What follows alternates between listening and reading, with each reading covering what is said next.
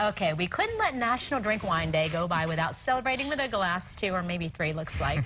we have Seth Buckley, the blogger behind Musings by the Glass, here to share some great picks. Thank you so much for coming in. Oh, it's a pleasure. Thank you. Well, I know you're an attorney, but you're a wine photographer and blogger, so this yeah. is a passion of yours. You take it seriously. Definitely a passion, yes. All right, so it's it's President's Day, too, so uh, you have some interesting facts that you want to bring to us? I, I do. It's such a great day. It's eat ice cream for breakfast day. right. It's President's Day. We have the holiday, and now we're just drinking some wine. So this is a great day. And I thought um, because it's President's Day and we're celebrating our presidents in this great country, that we would um, have some American wines and we would uh, tell a couple of facts about presidents and wine.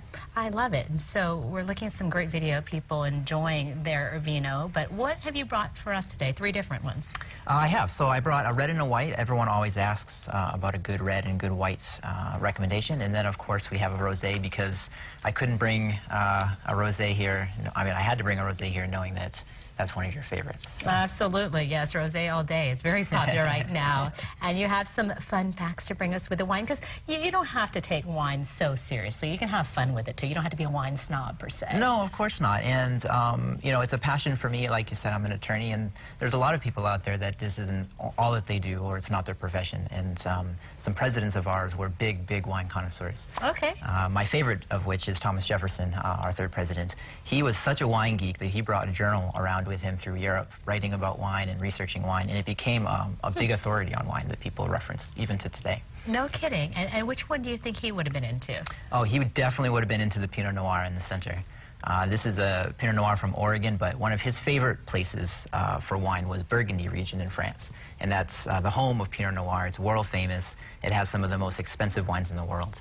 Um, and right here at home, we can enjoy that, that same grape uh, at a same world-class level. Um, you know, at a, at a, at a good price, at an American price. Uh, at about under $20, right? Yeah, so this bottle is about $25. Okay. They also have um, another uh, bottle that's a little bit cheaper. That's mm -hmm. about $18. So uh, depending on your price point, they have a few different options. And white, I notice, is not the, the typical Chardonnay, which we might get Yeah, so, so Chardonnay is definitely the wine that most people uh, would pick up in the grocery store. I have to be a little different and bring something uh, maybe to expand uh, some horizons. But uh, I chose a, a, Sauvignon Blanc. I think this is just a great wine for Hawaii. It's crisp, it's refreshing, uh, it has a lot of fruit in it, and it just pairs really, really well with a lot of Hawaiian cuisines, uh, such as fish, scallops, salad, um, Vietnamese food and even Thai food, as long as it's not Thai hot. We like that. And rosé, you're a man after my heart there. What rosé, the, the Copain rosé from Mendocino in Northern California. I mean, there's not much to say with rosé. Rosé all day. Everyone loves it. Um, it's just refreshing, it's fruity, uh, and this is a great expression at around $16 per bottle. All right, we might have to crack this open after the show. And this one, like you said, is, is bargain too, so we're not going to break the bank here. So if you have the day off, and check out musingsbytheglass.com. Seth, thank you so much for coming in to celebrate thank National you. Wine Day with us. Pleasure. Visit us again sometime. Of course. We have more coming up after the break. We're going to wrap things up and tell you what we have in store for tomorrow when Living 808 returns.